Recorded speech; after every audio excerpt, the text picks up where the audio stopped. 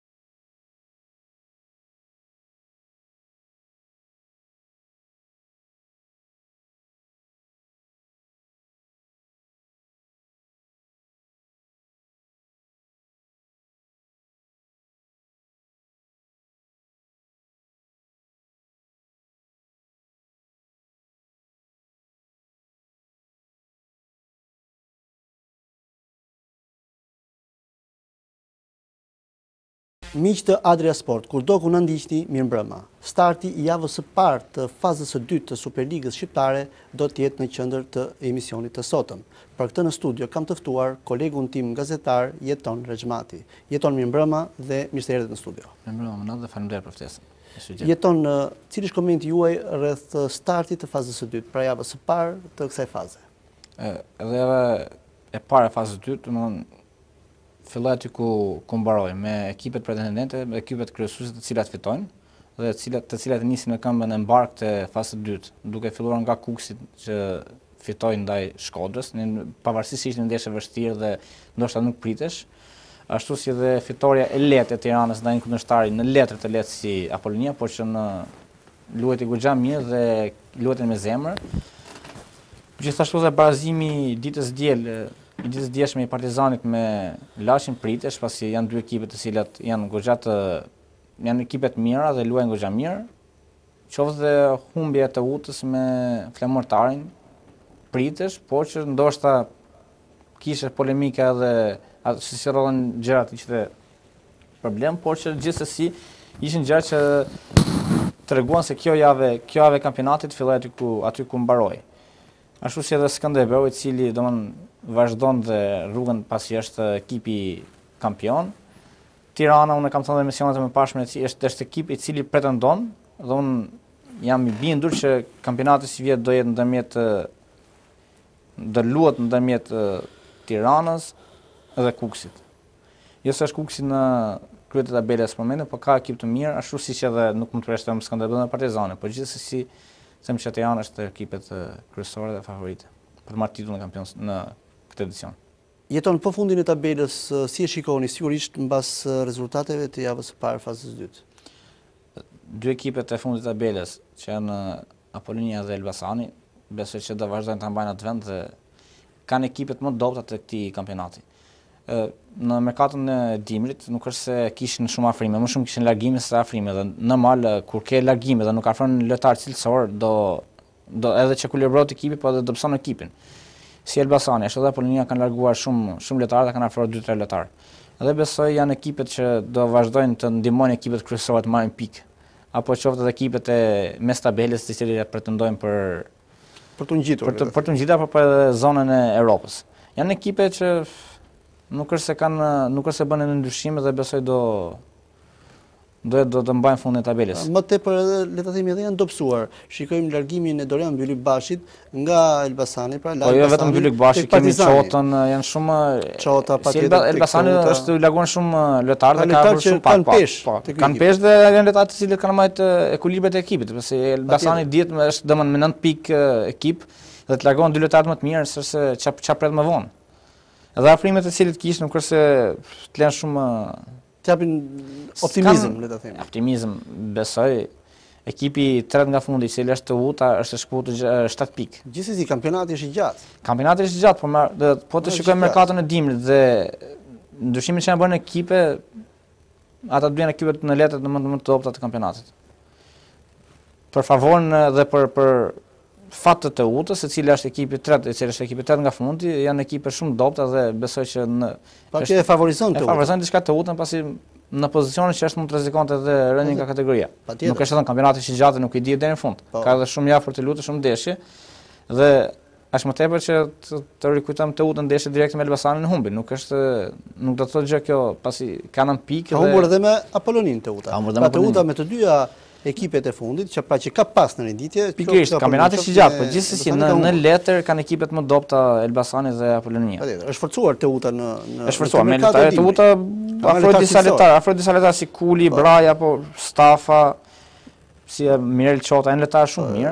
Patjetër, dhe këta lojtarë, kanë eksperiencë, normal, pikërisht besoj dhe presidenca dhe trajneri, kjo ka qenë ajo, kanë afru këta lojtarë me eksperiencë, kanë bërë lëvizjet e duhura, pozita e, kanë pikërisht, kanë bërë lëvizjet e duhura, pozita e ekipit të Teutës, i detyroi të merrnin këta lojtarë. Dhe po të shohim ndeshjen e fundit, ishin domethënë lojtarët të cilët u afruan në merkaton e janarit, ishin shumë efektivë. Po, Pavarësisht atyre Episodeve të ndeshjes si shkoi, Po gjithsesi paraqitja e këtyre ishte shumë ishte shumë shumë shumë shumë shumë. Në fushë ishte Braja, Kuli dhe Çota. Çota Çota ishte autori i golit që barazoi në minutën 24 25 në s'gaboj. Po gjithsesi edhe paraqitja e Kulit dhe Brajës ishte shumë pozitive. Absolutisht i dimë vlerat e Bekim Kulit ashtu si dhe edhe të katërt kanë qenë pjesë e Teutës vite më parë. Bile në edhe në sezonet më të mira të Teutës. Po kujtojmë Brajan, Braja, Stafa, Stafa është rritur te ekipi i Teutës. Ekipit të Teutës. Akademisë së Teutës. Dhe prandaj them që ekipi i Teutës ka bërë disa afrime, ka afruar disa lojtarë të cilët japin garanci dhe janë po, janë janë me eksperiencë për vazhdimin. Është vërtet. Tani nuk mund të themi që do ketë surpriza të shkojnë në Europë, por gjithsesi besoj të të largohet nga nga fundi i tabelës dhe mos rrezikojnë në kategorinë e dytë. Po. Në kategorinë e parë që bie Po, ish kategoria e dytë. Jeton për t'u ndalur pak tek kjo merkato dimri, përpara se të ndalemi edhe tek ndeshja e Teutës, sigurisht që do të jetë ajo që do të zërë minutazhin më të madh të bisedës së sotme. Do të thoja që për ta ndarë këtë merkato dimri në skuadrat që pretendojnë për titull dhe tek skuadrat që që luftojnë për t'i shpëtuar rënies një kategori më poshtë. Ti e preke pak më parë, por ne do ndalemi pak më gjatë. Ë për sa i takon katër skuadrave të para?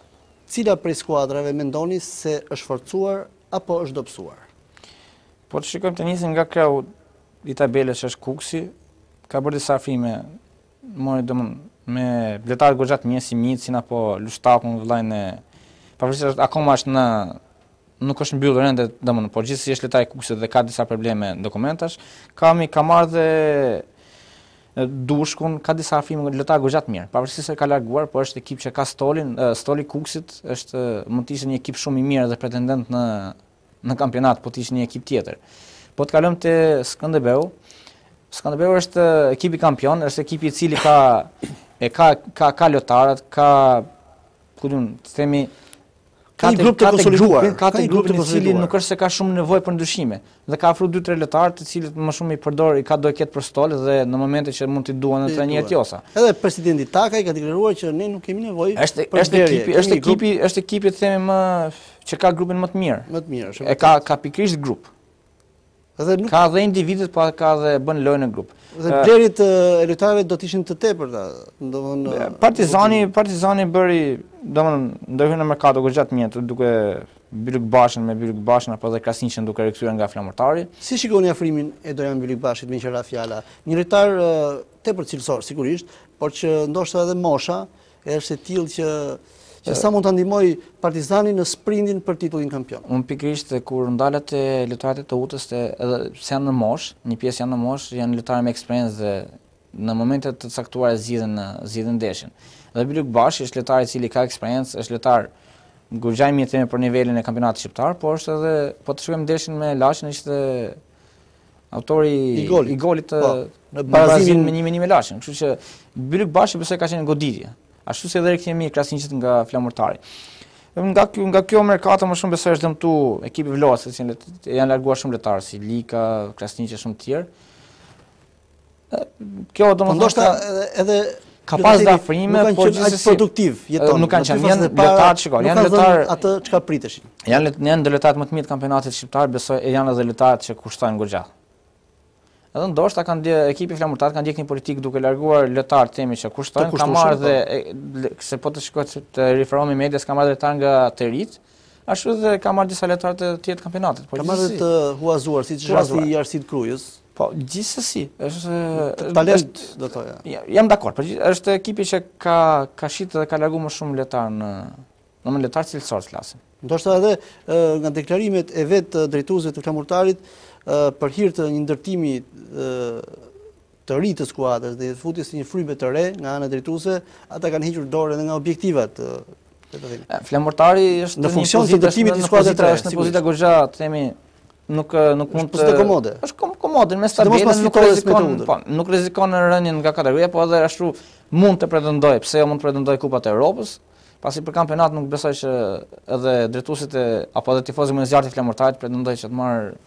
kampionatin. Realisht, mendon se Flamurtari, Vllaznia apo Laçi kanë shanse për Kupat e Europës kur kemi parasysh katër skuadra janë tepër cilësore dhe një hap larg skuadrave të tjera. Mendoni se kanë shanse këto skuadra për një vend në Europë, se për titull kampion nuk besoj se se bëhet fjalë. Shikoj Manat, po të shikojmë ndeshjet Ndeshja e Vllaznisë me Kukësin u luajt në Shkodër, ishte Vllaznia vinte pas një ecurie goxha pozitive me në në ndeshjet si jashtë si, si brenda, po, me, pe, gati pesë fitore, pesë fitore radhazi. Dhe u thye në po në Shkodër. Po të shikojmë Laçin dhe Partizanin barazuan, para se ndeshja mund të shkonte si në fitoren e Partizanit, të cilit iu anulua një gol, apo dhe penaltia e humbur nga Laçi. Domthon ishte ishte një ndeshje shumë e hapur, por që për mua të Si për kampionatin, ashtu edhe Kupat e Evropës janë katër ekipet e para. Skënderbeu, Kukësi, Tirana dhe Partizani. Dhe vështirë se një skuadër tjetër kampionati është kampionati është i gjallë, edhe edhe edhe goxha i gjatë dhe goxha i gjallë sepse ka ka ka ndeshje të cilat nuk i presim dhe dalin rezultatet japin rezultate goxha surprizë. Ka dhe ndeshje të cilat me me forcën, me zemrën i fitojnë ekipet që nuk e pret. Kështu që dakord, po flasim ë me një realitet i cili pavarësisht se kampionati është i gjatë pavarësisht matematikës që sigurisht janë shumë pikë në lojë, duke pasur parasysh nivelin e skuadrave, ë nuk besoj se përveç katër skuadrave aktuale që udhëheqin kampionatin shqiptar, ka skuadër tjetër që do të rivalizojë për Kupat e Europës. Këtë po thoja, ekipet si unë të paktën personalisht në e... gjykimin tim Jeton e shoh shumë të vështirë. Në javën e fundit ekipi më ekipi me ecurinë më pozitive ishte Shkodra dhe pikërisht thyhet po në Shkodër nga Kuksi. Të shikojmë Laçi nuk barazon me me Partizani si edhe Flamurtari, si po flasim për ekipet e cilat mund të pretendojnë për kupat e Evropës, fiton me Teutën në një ndeshje Që le shumë për të dëshiruar, por edhe shumë ka edhe shumë komente nga ajo ndeshje, por gjithsesi të themi që nuk shikoj asnjë nga këto ekipe nuk shikoj si pretendente për Kupën e Evropës. Ai katër ekipet e para është janë si pretendentë si për kampion, titullin kampion ashtu edhe për Kupën e Evropës. Besoj do ndahet në ndërmjet këtyre katër ekipeve. Jeton ka 2-3 javë që Kuksi mban i vetëm vendin e parë, pra udhëheq Superligën shqiptare. Edhe në Shkodër, siç e përmendët ju, ditën e shtunë arriti një fitore, nuk po them të lehtë, po një fitore që për asnjë moment thuajse nuk e diskutoi. Madje shkoi edhe 2-0. Pastaj shkodaranët ngushtuan diferencën e golave. Mendoni se Kuksi do ta ruajë këtë ritëm duke pasur parasysh sigurisht grupin, trajnerin, Ka një Shaqiri i cili duhet ta themi që po e konsolidon çdo javë e më tepër grupin. E mori Kukësin në vend 3 vend 4 mos gaboj dhe sot Kukësi është me diferencë 2 pikësh nga ndjekësi më i afërt. Në fillim kur u vendos kur u emërua më saktë trajneri Shaqiri, shumë sportdashës kuksianë apo dhe gazetarë apo dhe media në përgjithësi nuk është se ishin shumë optimiste se për Domthon opinionin shqiptar nuk është se njihet shumë, por që është një trajner punëtor dhe po bën goxha mirë me Kukësin. E mori Kukësin siç thatë në nga vendi 3-4 dhe është i shkputur 2 pikë nga ndjekësit. Ka një ekip goxha të mirë, ka një ekip, domthon kanë ndryshuar disa elementë, por që është ekipi i vitit të kaluar, ka bërë një blerje e cila ishte për mua goditje e merkatos në Shqipëri që është Pejiç. që realizon përsëri në Shkodër, është ndër sulmuesit të viteve të fundit më të mirë që kanë Absolutisht po. Kanë luajtur në në Shqipëri është lojtar shumë i fuqishëm, si si fizikisht, si në lojën në ajër apo edhe në këmbë. Me këmbë, kështu që besoj do do vazhdojë kjo ecuri e Kuksit. Nuk i dihet asnjëherë të themi hapa fals, por gjithsesi është ekip Kuksi dhe Skënderbeu kanë ekipe të janë ekipet kampione dhe nënkampione të Shqipërisë. kanë ekipet më të kompletuar në kampionat, pavarësisht ecurisë së mirë të Tiranës dhe Partizanit apo edhe fuqizimeve militare.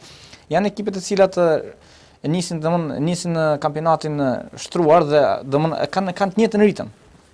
Kanë të njëjtin të njëjtin ritëm. E Kukësi besoj që do shkojë do do mbajë këtë këtë ecuri.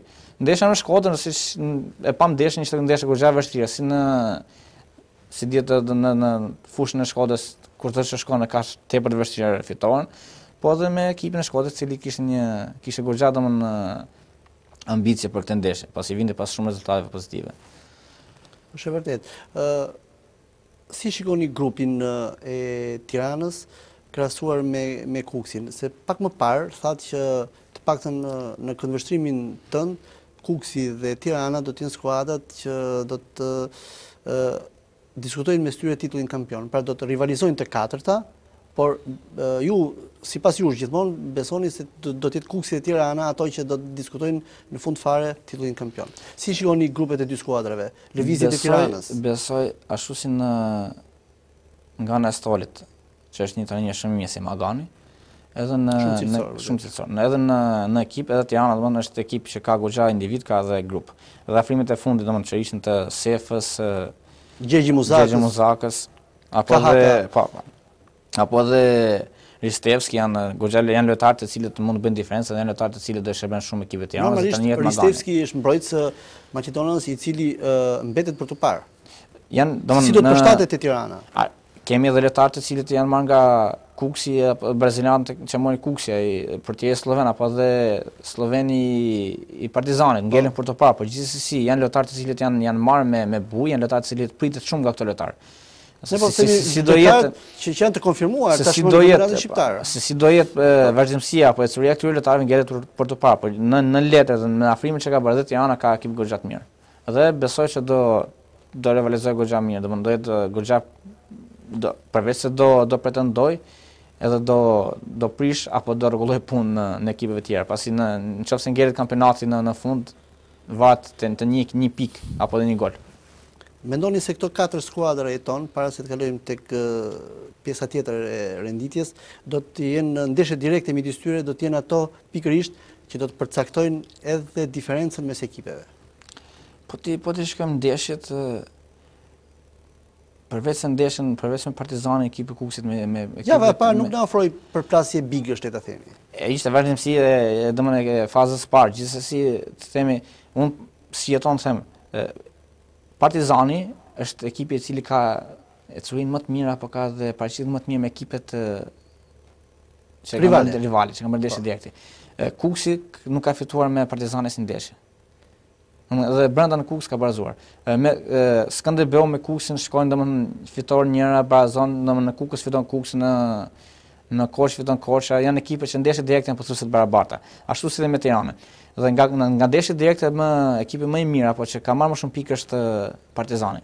Pikërisht, atë po thoja që në fazën e dytë, pra në dy fazat e tjera të të që kanë mbetur nga nga ky kampionat, mendoni se ndeshjet direkte do të jenë vendimtare dhe janë do të jenë pikërisht ato që do të bëjnë diferencën mes skuadrave. Unë Apo dhe ndeshjet dhe skuadrat e tjera. Ndoshta mund të prishin punë nëse mund ta quajmë Vllaznia dhe Flamurtari. Është dhe Laçi. Edhe Laçi, ndërsa Teuta ngelet për të parë, ngelet për të parë se si do jetë ecuria e lojtarëve që ka afruar.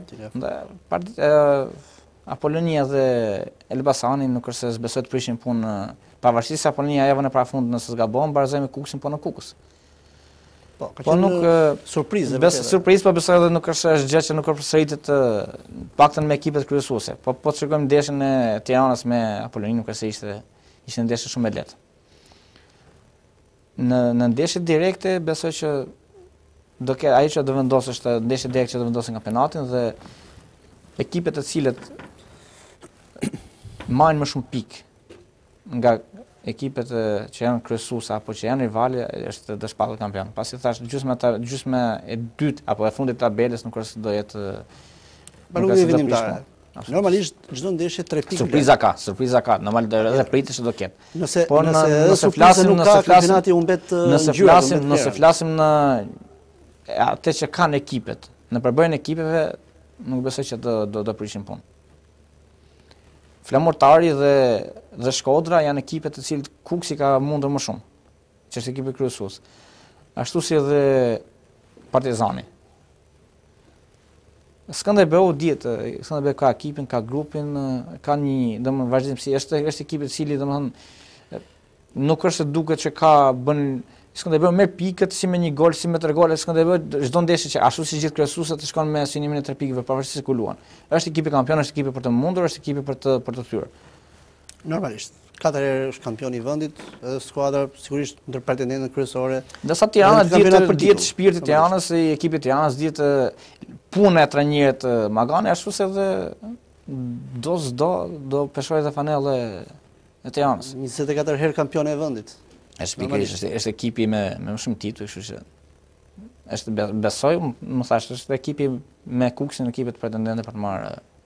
Po, është e vërtetë. Jeton për të dalë tek pjesa e dytë e renditjes, nuk po themi, nuk po themi për merkaton e bërë nga Laçi, Flamurtari dhe Vllaznia, po po ndalemi tek Teuta. E diskutuam pak më parë Elbasanin dhe Apoloninë, pra skuadra që nuk patën lëvizje cilësore në merkaton e dimrit. Pavarësisht se ende nuk është mbyllur, por gjithsesi nuk është se pritet ndonjë goditje e madhe. Për t'u ndalur te Teuta, në këtë studio kemi diskutuar me të ftuarit emisionet më parë, bile me drejtorin teknik të Teutës, Ilir Biturkun, për afrimet që ka bërë Teuta. Është përqëndruar tek lojtarët me eksperiencë dhe tek lojtarët të cilët e kanë veshur edhe më parë fanellën e Teutës. Ndoshta ka qenë dhe një strategji e drejtuesve të ekipit për të afruar lojtarë që e njohin ambientin e Teutës, pasi kjo sigurisht do ta bënte më të lehtë përshtatjen me këtë ekip pasi dihet që vetë pozita që ka Teuta në renditje i dikton një lëvizje të tillë të zgjuar, do ta themi, për t'u shkëputur sa më shumë vendeve të fundit. Atëherë, afrimi i pesë lojtarëve, Kulit, Stafës, Brajas, Çotës dhe triut të Fabio Beqja, si e gjykoni? Sa do ta ndihmojnë këta Teutën për Një ecuri më të mirë në fazën e dytë. Do të ndalemi edhe tek humbja e parë e Teutës, sigurisht që nuk pritej, por do të ndalemi pak më pas. Nuk pritej. Do mund të mund të vazhdojmë të flasim më pas, por gjithsesi edhe mund të pritej, sepse në Vlorë nuk është se është edhe Vlora për për tre pikë shkoi dhe besoj që në letër Vlora ishte shumë më favorite se Teuta. Po po të rikthehemi te te blerjet, ashtu ashtu siç thashë më parë, Besoj ka qenë strategji goxha e mirë e drejtuesve të Teutës duke afruar këta lojtarë. Ashtu si Bekim Bekim Kuli, Braja apo Shaqir Stafa dhe Çota janë lojtarë të cilët kanë veshur fanellën e Teutës, e dinë e njohin ambientin si dhe janë lojtarë të cilët mund të japin më shumë mund të luajnë me më shumë zemër për këtë ekip se sa lojtarë që u larguan. Në disa emisione më parë thamë që Teuta mori bëri shumë afrime, mori shumë lojtarë, por që këto lojtarë nuk është se dhanë Nuk është se dhanë shumë për... Pritej. Në atë që ka pritej, por po nuk e dhanë, dhe ishin lojtarë shumë, nëse mund t'i quajmë në gjuhën e përditshme, dembela. Ishin lojtarë të cilët nuk ishin lojtarë të, të, luftonin për këtë fanellë, të luftonin për Teutën, të luftonin për të marrë pikët. Dhe afrimi i këtyre lojtarëve, përveç eksperiencës, ka edhe këtë që ndjen ndjen peshën e fanellës dhe janë janë janë lojtarë të cilët kanë luajtur edhe më parë dhe e dinë se ç'do të thotë të jesh pjesë e Teutës. Eksperienca e këtyre lojtarëve besoj do ndihmojë goxha dhe ajo që ka që ka shprehur profesor Biturku që do kemi ecuri, pavarësisht ndeshjes së me Flamurtarin, për mua këta lojtarë të cilët u afruan ishin goxha produktivë. Sigurisht një një ndeshje është një ndeshje nuk mund të tregojë asgjë. Nuk mund të tregojë asgjë. Sido që të ishte fati i saj, edhe sikur Teuta të kishte fituar në Vlorë, nuk ishte gjithçka. Ishte një hap i mirë, por jo gjithçka. Është e vërtetë, Jeton. Ka lojtarë të kalibrit Mexes, qoftë dhe, Pepe, Varane, të cilët bëjnë gabime trashanike, të që po t'i shikosh, domethënë, thua nuk e bëri ky apo s'ka mundësi ta bëjnë lojtarë të tillë. Gjithsesi janë gjëra njerëzore dhe mund të ndodhin, ashtu siç mund të ndodhë edhe çdo lojtar shqiptar. Jeton, para se të ndalemi edhe tek sfida e së shtunës Flamurtari Teuta, një sfidë e mbyllur me fitoren dy me një të Flamurtarit, do të ndalesha te një aspekt tjetër, që sigurisht nuk ka të bëjë shumë me futbollin. Një ditë mbas ndeshjes, pra të dielën, gazetat, pothuajse gjitha gazetat sportive në faqet e para të tyre hapen me titujt duke quajtur si skandal atë çfarë ndodhi në përballjen Flamurtari Teuta. Fjala është për golin e dytë të të, të Flamurtarit në minutën e 94 shtesë. Cili është komenti juaj rreth këtij aludimi për atë që ndodhi me golin e dytë të Flamurtarit?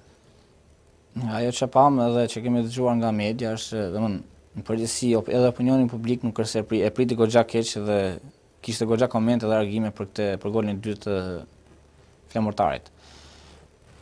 Ishin minutat e fundit, fundit të ndeshjes dhe mënyra se si u realizua goli apo dhe nxitimi i mbrojtjes për të larguar topin, qoftë dhe largimi i portierit, largimi shumë i shpejtë pasi Teuta edhe me, në me barazim do ishte kënaqur në atë ndeshje. Patjetër. Hodhën hije dyshimi për, ku di unë, nuk mund ta quajmë trukim, pasi është thjesht ka organe kompetente të cilat mund të mund të japin një vendim apo të ta përcaktojnë se si, po, si, si, si ishte rrjedha apo se, se çfarë kishte në këtë ndeshje.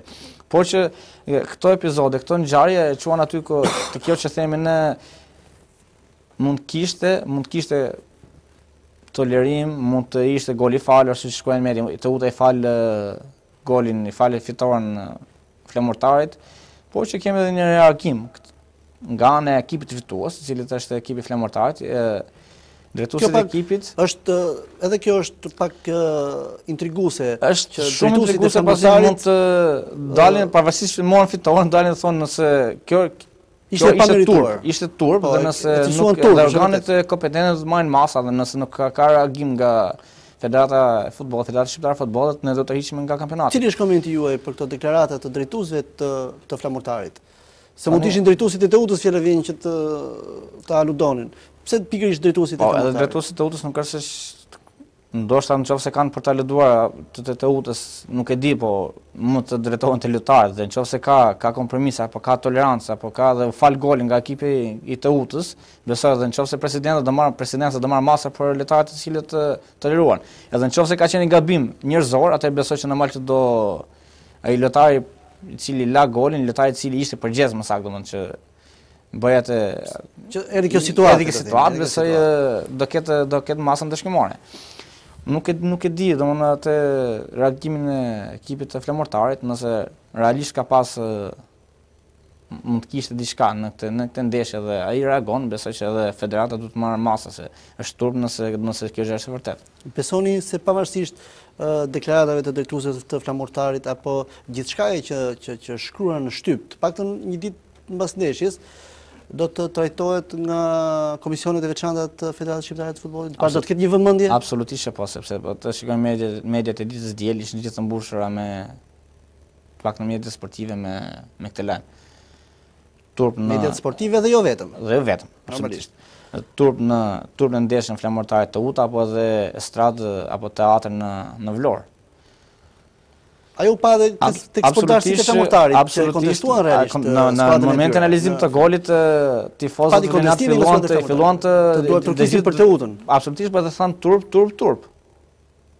Tani nuk e ne nuk mund të japim një një Ok, ne nuk na pëlqen që ekipi i Teutës pëson një gol të tillë. Nuk na nuk, nuk do ishte e mirë për ambientin sportiv apo edhe për sportdashit të cilët mund të themi që mund ka diçka nga nga kjo ndeshje, mund të jetë shit apo nëse është fjalë e rëndë për t'u shit. Kishte t'u tolerua kjo ndeshje.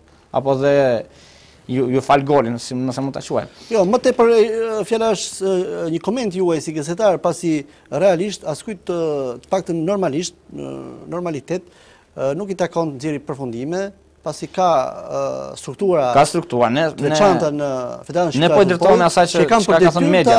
Të ta vlerësojnë. Ne po po i referohemi asaj çka çka ka thënë media dhe çfarë pamë. Dhe për mua si jeton futbollistët e Teutës ishin shumë të nxituar dhe besoj toleruan shumë. Ta të flasim në mënyrën se si e pamë ndeshin. Mund të administrohej shumë mirë rezultati, sepse edhe 5 minuta, do me 5 minutet e fundit... Jo, ishin sekundet e fundit. Po flasim 5 minutet e fundit, kishte 3-4 raste, jo, mbi 5 raste, më saktë të Flamurtarit. Dhe, shyqyr domethënë që mund të kishte, ata se s'po bënë, s'po realizonin golat të Flamurtarit. Dhe, momenti i pësimit të golit, u duk sikur shyqyr e bëri. Nga mënyra se si erdhi ndeshja, nga goditjet e, e në portë të Flamurtarit dhe reagimit të Teutës, që për mua duhet të administrohet shumë më mirë ndeshja, kishte mundësi portieri, domethënë pas zëvendësimit që ka hyrë portieri Osmani detyrohet disa herë duke larguar topin dhe normal nuk topi nuk shkonte shumë lart po në këmbët e sulmuesve të Gjithsesi paraqitja e Osmanit të paktën para deri para këtij momenti ishte shumë pozitive. Shiko domethënë, disa herë ndërhyrjet e Osmanit shpëtuan Teutën në këtë ndeshje, në këtë në këtë ndeshje absolutisht edhe në fund. Në këtë ndeshje Teuta mund të kishte dalë edhe fituar, ashtu besoj rezultati më i mirë do ishte barazimi, pasi edhe pas realizimit të golit të shpejtë të ekipit të Flamurtarit në minutën e 4, erdhi reagimi i Teutës me Mançokun. Dhe zëvendësimi i portierit në minutën e 41 nëse s'gaboj. Po. Besoj edhe paraqitja deri në ato momentet e pësimit të golit ishte e mirë e portierit Osmani. Por ç'është një, mom, një moment të të prish gjithë gjithë ndeshin apo gjithë ato ndërhyrjet e mira që ke bërë. Mund të ishte gabim njerëzor i mbrojtjes, mund të ishte, pasi po ta shikojmë ndeshin e Milan me Lazio, mbrojtësi Mexes, ndër mbrojtësit më të mirë në botë, bën një gafë të tillë. Del huq dhe sulmuesi Pllazhjal shënon. Ashtu mund të ishte kjo, por gjithsesi nga mënyra si erdhi ndeshja Është pak e çuditshme. Pak e çuditshme, besoj do të hodhet, normal do jepet vendimi nga organet kompetente. Patjetër. Gjithsesi kjo ishte sa për koment, pasi nuk mund të të të anashkalohet, pasi zhurma ka qenë e madhe. Absolutisht, zhurma e madhe dhe ne si sport sport dashës apo edhe si tifozë, nëse mund ta quajmë se në këtë në këtë studio nuk jemi si tifozë, por gjithsesi të flasim si si si tifozë të jashtëm nuk nuk na erdhi mirë dhe nuk është normale që të pësojë një gol të tillë. Po, atëherë Jeton nëse do të ndalemi pak te ndeshja, pikërisht tek ndeshja e luajtur. Ishte një Teutë e cila realisht e lëmë atë që ndodhi në shtesë. Një Teutë me një grintë të jashtëzakonshme. U godit shpejt me golin që mori dhe sigurisht ajo ka ndikimet e veta, por gjithsesi arriti ta rigjejë ekuilibrin me golin e Çotës. Dhe pavarësisht se nuk është se krijoi në nuk është se krijoi një epërsi territoriale, por ishin vërtet shumë luftarakë. Luajtën me zemër. Ndeshja të thashë, ndeshja pavarësisht se kishte dominimin e ekipit të Flamurtarit, normalisht. Besoj që djemtë e Biturkut dhe të Begës bënë një ndeshje shumë të mirë. Ishte një ndeshje e cila domethënë edhe afrimet e janarit bënë një ndeshje goxha të mirë, bënë një ndeshje shumë produktive dhe luftuan, Flamurtari më qëndroi në gjysmëfushën e Teutës. Por gjithsesi qëndruan shumë mirë. Në momentet e fundit u shthur, Nëse nuk e di nëse ishte shthurje, ishte tolerim, nuk e di ça ishte, por që Teuta... Drejtori Biturku deklaroi mbas ndeshjes se më tepër ishte shthurje në minutat e fundit. Kjo falë sigurisht dhe presionit të Flamurtarit. Se realisht, Shiko, Flamurtari rriti, rriti në, në pjesën e dytë, rriti presionin shumë dhe domethënë pothuajse gjatë gjithë kohës qëndroi në gjysmëfushën e Teutës. Dhe ekipi i Teutës si dhe afrimet që bëri, domethënë se ishin po këta lojtarët, afrimet që ishin në që ishin aktivizuar, domethënë, titullarë, dhanë goxha mirë, luajtën goxha mirë dhe dhanë atë që pritej nga këto. Jo, pamë një Teutë me shumë grintë, realisht. Teutë me shumë grintë dhe një Teutë e cila nuk e kishim parë në ndeshjet e mëparshme, të fazës së parë. Një Teutë e cila, domethënë, Teuta një ndeshje ka bërë të bukër dhe ajo me Skënderbeun. Që ka luftuar, ashtu siç luftoi në pjesën e parë dhe një pjesë të pjesës së dytë me me Flamurtarin. Ndërsa pjesa e minutave shtesë apo fundit të ndeshjes, nuk e di, nuk është ajo pastaj është një histori, është një histori që akoma ngelet për të zbardhur. Shpresoj mos ketë histori. Sigurisht, kështu shpresojmë të gjithë. Se po të ketë histori, pastaj ka dhe, ku di unë, ka pasoja, ka ndëshkime, ka ka largime. Nëse ka pas tolerime nga ekipe, nga ekipe si ekipi i Teutës, besoj do të ndëshkohet nga federata, nëse ka pas tolerime apo faji lojtarët do ndëshkohen nga nga presidenca, edhe është mëse normale që të ketë të ketë masa ndëshkimore. Gjithsesi ne shpresojmë që ajo mos mos të trajtohet dhe të ishte vërtet një histori, pasi ishte vërtet diçka e turpshme, nëse nëse ka qenë e tillë vërtet. S'di, nuk është hera e parë që ka mediat aludojnë për për raste të tilla në Shqipëri, ka pas shumë ndeshje, shumë shumë ndeshje tjera. U përfoli dhe Skënderbeu në miqësore. U përfoli dhe Skënderbeu në miqësore për shitje blerje ndeshjesh, për tolerim. Kemi pas raste të ndeshjeve të, të Flamurtarit, edhe shumë ekipe të tjera. Por gjithsesi, mënyra se si u pësua ky gol, mund të mund të lejë hije dyshimi.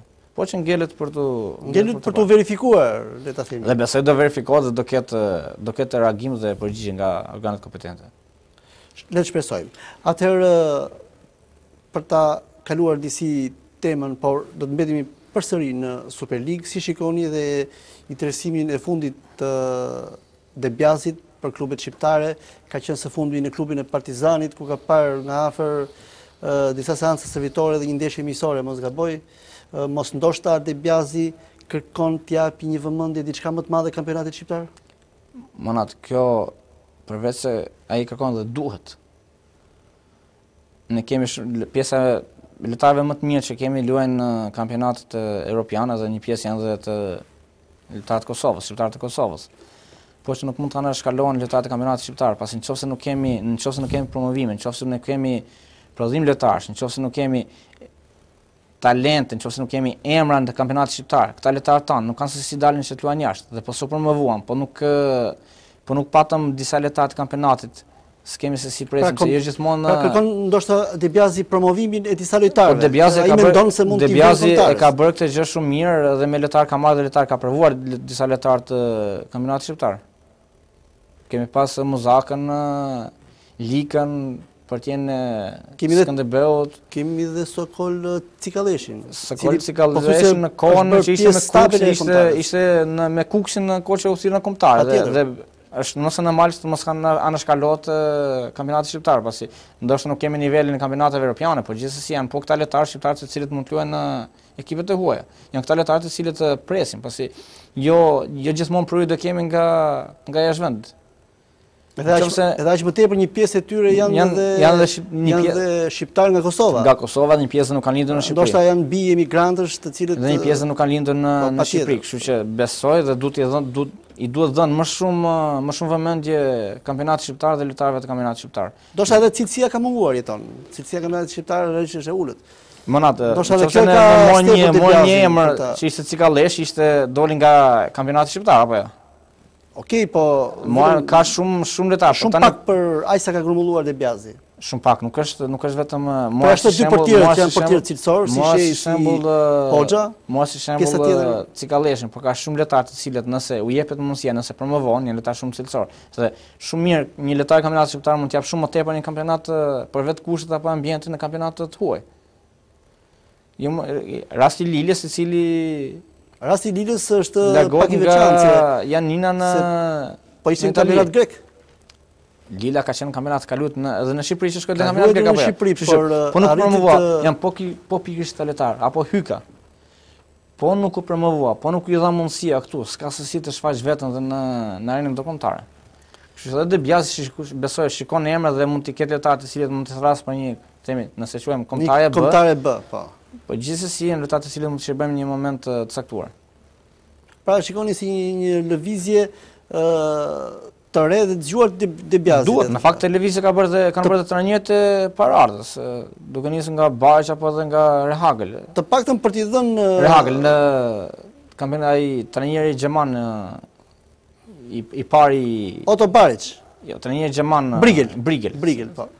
Rehagel ishte i Greqisë.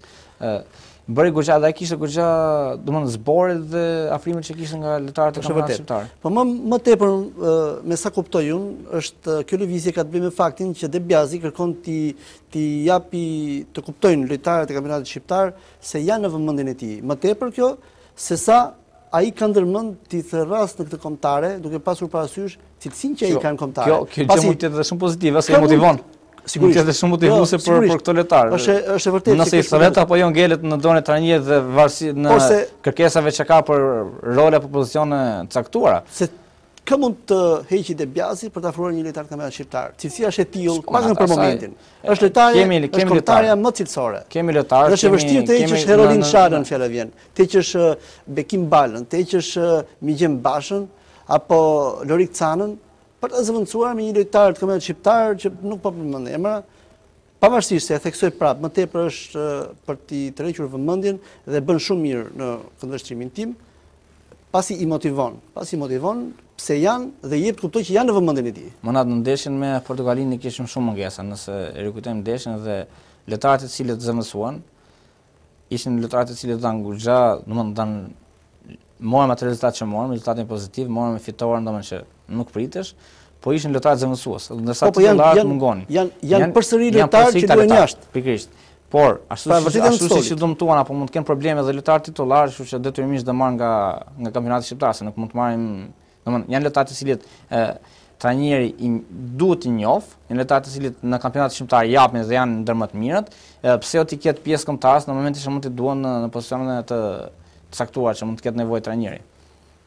Jeton, si i shikoni transferimet e bujshme, do thoja, të disa prej lojtarëve të ekipit tonë përfaqësues, të Lilës nga Janina te Parma, të Lenjanit, që iku nga kampionati zviceran, shkoi tek Rennes i Francës, të Herolin Shalës nga Norvegjia kaloi në në kampionatin çek tek Sparta e Pragës dhe Bekim Balajt që kaloi në kampionatin kroat tek Rijeka. Si i shikoni këto? Të paktën këto ishin katër lëvizjet më të bujshme të ekipit tonë përfaqësues. Ë, po ta nisim, ta nisim nga Ka qenë një vitrinë kombëtare. Ta nisim absolutisht, absolutisht. Dhe unë kam lexuar një artikull apo një një shkrim nga nga mediat italiane, po? të cilat kishin bërë një intervistë me trajnerin De Biasi, i cili thotë se shumë lojtarë të kombëtares shqiptare mund të shërbejnë shumë mirë disa ekipeve të kampionatit italian, qoftë të ekipeve të cilat pretendojnë për Kupat e Evropës.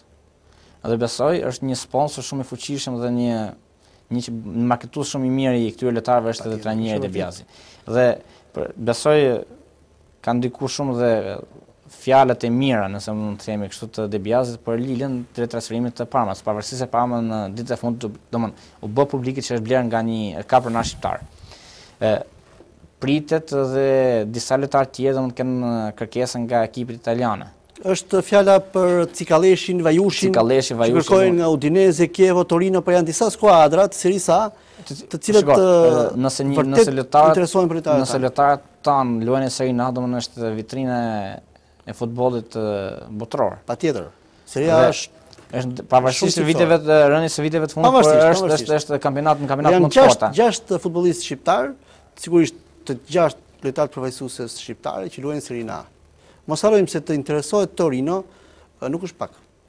Shiko, se nuk po përmend rastin e shqiptarëve të Lazios, pasi ata janë të rikonfirmuar. Pavarësisht pozitave të Parmës, dihet emri i Parmës, dihet historia që ka ky ekip. Transferimi i Lenjanit tek Rennes, Rennes është ndër ekipet me më emër më që kanë kanë bërë më shumë emër në Francë. Dhe pavarësisht se në dy debutimet, në debutimin e parë mori karton dhe karton të kuq, në në kampionat u dëmtua. Por që besoj që edhe Lenjani do japë goxha tek ekipi i Rennes. Ndërsa cilësitë e Cikalleshit dhe të Bekim Balajt dihen, domethënë janë ndër sulmuesit më të fortë fizikisht dhe goxha dhe teknikisht, domethënë nga ana teknike që kemi. Është e vërtetë, është e vërtetë. Jeton, përpara se ta mbyllim këtë emision, pasi kemi ardhur në fund të tij, do doja dhe një Fjali apo mendim tuaj të fundit lidhur me atë që po ndodh me dy skuadrat legjendë të kampionatit italian, me Interin dhe Milanin. Milani mundet të shtunën 3-1 nga Lazio, me një lojë jashtëzakonisht të dobët, pavarësisht se mbyll pjesën e parë 0-1 në avantazh dhe shkatërrohet pjesën e dytë dhe Interi mundet në sekondat e fundit të kohës shtesë nga Torino 0-1 në Milano. Si e shikoni këtë paraqitje jashtëzakonisht të dobët do ta quaja unë, të dy skuadrave milaneze me shumë histori në jo vetëm Serinë A italiane, por edhe në Europë, në pra në këtë kampionat që nuk po arrijnë të shprehen, ndoshta edhe blerjet kanë qenë ndoshta edhe të gabuara. Unë po flas si tifoz i Interit, Do flasësh si tifoz edhe si gazetar. Absolutisht. Atëherë do ta nisim me nga Interi. Do nisim nga Interi. Do ta nisësh nga fakti si tifoz. Si tifoz. Po. Atëherë, ndeshja me Torinon edhe blerjet si Interi si Milani bënë disa mund disa emra goxha domethënë që lojtarë me eksperiencë. Bënë bënë disa goditje nëse mund të quheshin. Po që këto lojtarë të cilët u afruan nuk është se po japin atë që pritej. Ekipi i Interit në ndeshjen me Torinon, në ndeshjen e djeshme me Torinon, luajti goxha mirë, kishte avantazhin e topit, kishte shumë raste dhe pëson një gol në sekondën e fundit të minutës së katërt shtesë, domethënë ishte një goditje këndi në minutat e fundit, cili Interi pëson gol dhe merr humbjen me me Torinon.